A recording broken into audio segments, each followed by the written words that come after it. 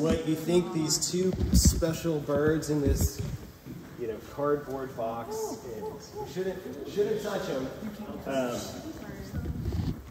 don't touch them. They're they're old. You guys can take turns walking up, looking at 'em. Like arsenic or strychnine. in 'em. Looks like a pirate bird on the left. A pirate bird? Is that what you said? A pirate bird? Plant person. Clearly a plant person.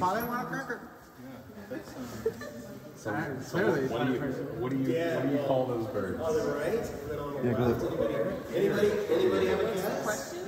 What are the, the birds? I know what it is because they Okay, one, one hint is John James Audubon talked about In the these cardboard two box. flocks on the one on the right, and he says when a flock would pass through, it would darken the sky.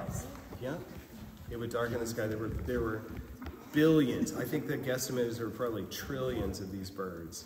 Um, and the last one, I think, died in captivity in 1914. I thought 13. My, my, my recollect, but maybe it's 14.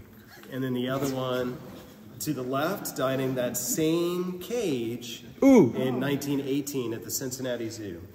Really?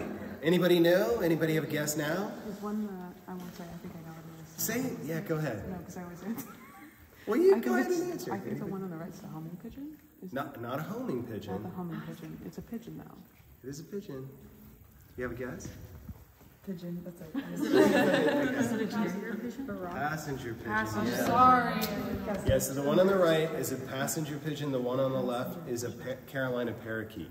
Mm-hmm. So we did have a native parakeet that was found in North America, and in fact, in Louisiana, there was there's some evidence there was a there was a Louisiana endemic version of the Carolina parakeet. Hmm. Audubon did a drawing, and that's the only picture we have of it. Wow. But there are some descriptions too. Really, Audubon did a drawing.